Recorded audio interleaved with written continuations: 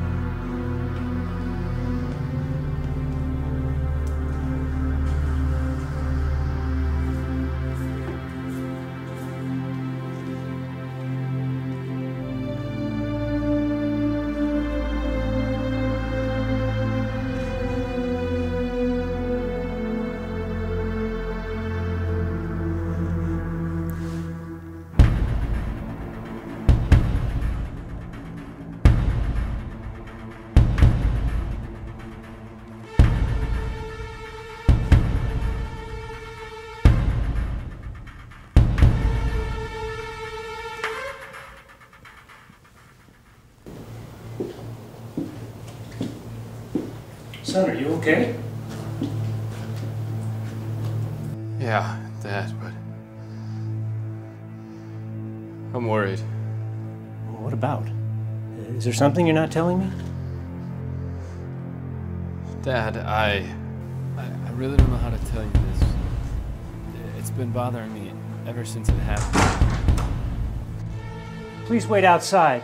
I'm talking with my son.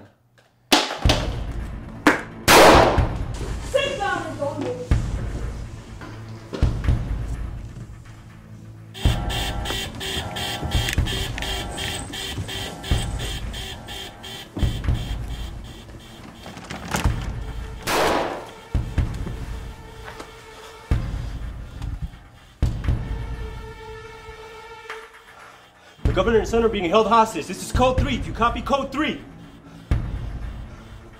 All I'm asking is for you to save my son. Is that too much to ask? Okay, I promise you. I'll see what I can do. I am not asking you. I am telling you to do something. And you?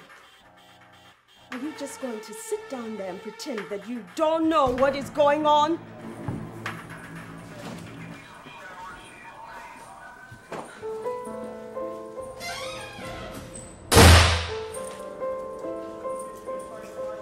No contact, man. As the days go by, all I see is a system where the lambs are silenced because they are lambs, and the lions roar every day because they are kings of the jungle. We are poor, but we have a God who is rich. We have nobody, but we have a God who is a majority. I know, Ma. Where's he been all these years, huh? Where was he when I was arrested for a crime I didn't commit? Where was he when William Bigler, even with all the evidence provided, wasn't interrogated for one day just because he's a governor's son? Leave my son out of this and tell me what the problem is. Hell no, I will not leave him out of it because he is the problem. Sit down. I mean it. Sit down.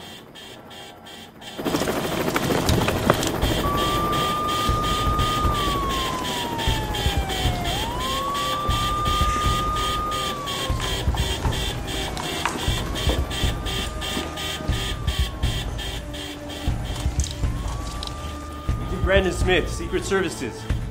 All right, guys, let's move. Take your positions. My son is innocent. All of the evidence we presented to the Committee Board was rejected.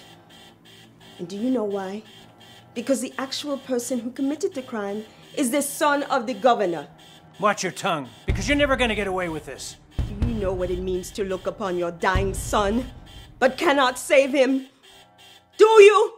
James, stop. This is blasphemy. In his time, he will make all things beautiful. After the hearing tomorrow. I hate to say this, but go home, Ma. Forget this fight. It's already a lost battle.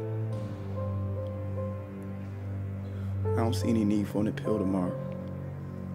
In three days, I'll be dead. James, no. Now, you are a young man who's destined for greatness. You are a young man with visions.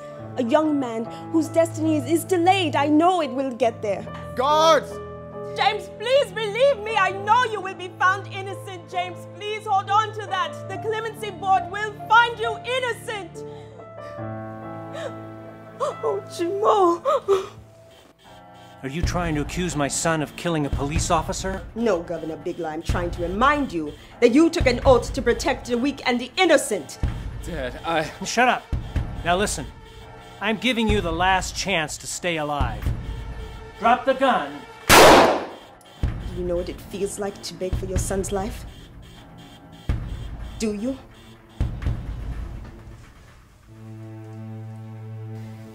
My late husband and I moved from Nigeria to America for a better life. But ever since he died, my life has been miserable. Society's revenge is what we are talking about. This is no longer a case about a young man being convicted of a crime. This is a case about a young man who just needs you to hear his voice. I have sacrificed my entire life to make sure that my son could get the opportunities that neither his dad or I could get. His education, good training, those were my number one priorities.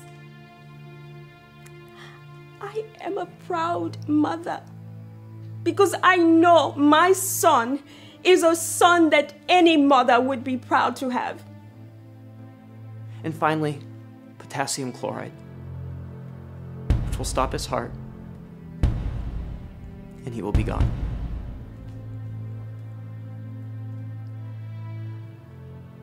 We may never know what happened that tragic night. I don't think there's any need to remind you what we already know. But I feel this execution has been prolonged for a long time. What we can do is we can look at the facts since James was arrested. Now, the wife of the deceased will never see her husband again. She can never forget the day she prepared dinner waiting for her husband, waiting for a police officer who was killed by James Newcomb.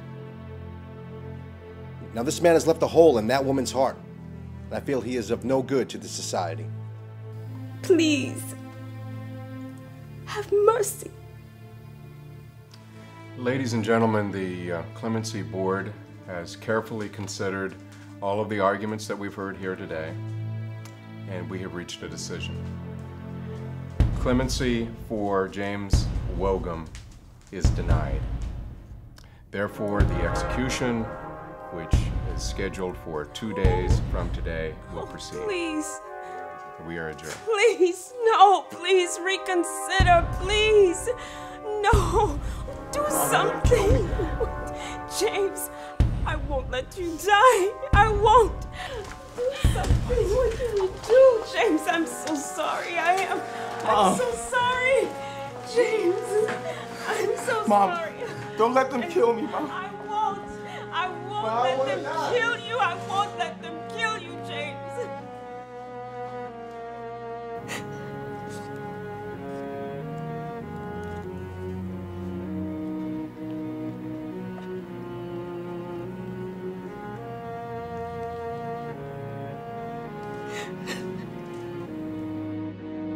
Amanda, I know how heavy your heart is now.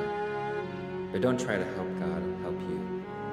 Be still and see his salvation. Be still and watch my son die? For how long will I be still? It does not matter when God steps in. What matters is that he is never late. Don't try to help God.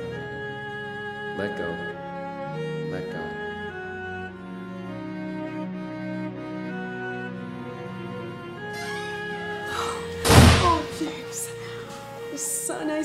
Glory of God in your life.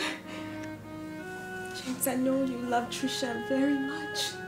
And I do also. And I desire nothing more than to have her as a daughter in law. So today, I give both of you my blessing. Oh, son, treat her like a princess. Let- Let your children see you do things for her that lets you know how much you love her and treasure her. What you talking about? What, why, are you? James, always know that a mother is someone who dreams great things for you and then lets you go and chase the dreams that you have for yourself. But she loves you just the same. Don't be so concerned with your rights that you forget your manners. Mom, what is going on? What are you talking about, Trisha? Is there something you're not telling me? Oh, James. Never, ever apologize for using extreme measures when protecting your values or your family's safety. What? Never forget your roots. And always know that when God blesses you, it is for a reason. What you have to do for those who do not have a place to stay, food to eat, or blankets to keep them warm. Oh, son. I love you so much. I love you too. And if you ever need, just know that I will be right here.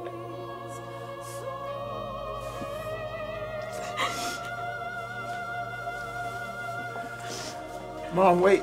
Time's up. Wait, where are you going? Ma'am, time's up. Mom, James, it's okay. you said you'll never leave me. Trisha, please, stay with me. Please. As we speak, Governor, you have 30 seconds to save my son's life, or I swear I'll save your son's life, but I need proof. You need proof? Okay.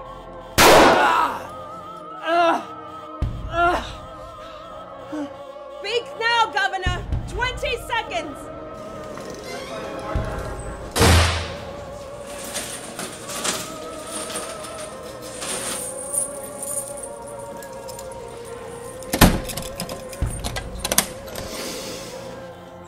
Stop the execution.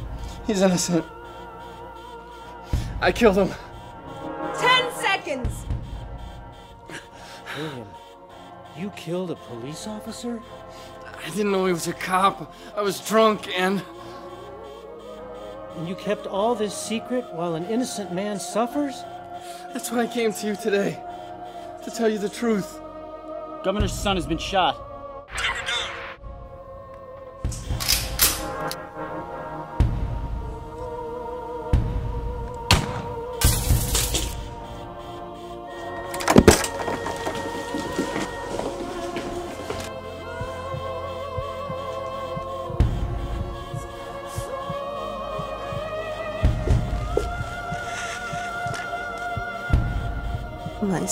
Son's blood is on your hands.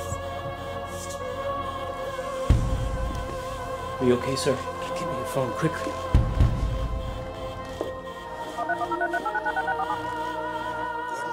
This is Governor Bigler. Make sure that execution is stopped. That boy is innocent, must not die.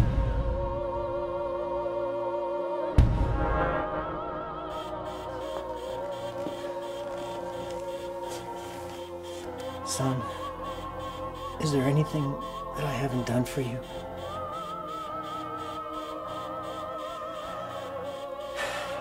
I'm not going to turn you in. But I'm not going to save you either. Mothers hold their children's hands for a short while, but their hearts forever. You died that I may live. Goodbye, Mom.